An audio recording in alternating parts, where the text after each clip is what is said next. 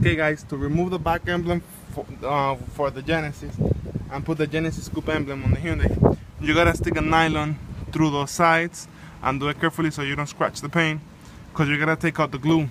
And um, all you gotta do is slide this all the way through and make sure it's gonna have a contact that's gonna go into the car. So right here it won't keep sliding. So you gotta go through the other side and then once it's half out all you gotta do is pull this super hard or you could use a flathead screw and tape uh, the head so it doesn't damage your paint. And then just keep pulling it out pulling it out pulling it out. And then carefully. And then that's it. The emblem's gonna come right off. And then all you gotta do after is clean this old glue so you can paste the new emblem.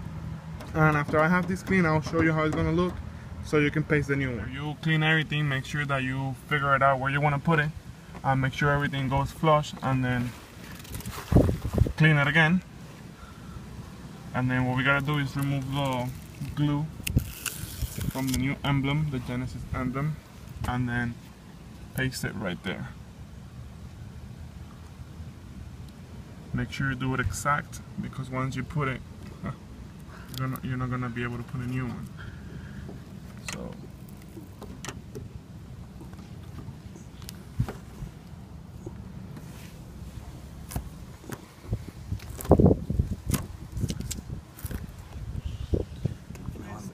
as you can see it's very flush um, the area that you worked on. And that's it very easy. It's gonna take around 10 minutes to do it at most. And check my other videos so you can see how I did the front. It's very easy. It's gonna make your car look way better. And uh, yep. There you go you see?